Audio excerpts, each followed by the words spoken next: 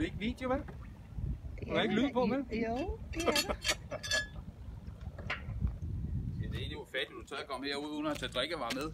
Ja, det er rigtigt. Det er rigtigt, det må jeg gøre noget ved. Hvor pokker det? Morgen. Der skal noget væske til her. Jeg er også sur på det. Puha. Puha.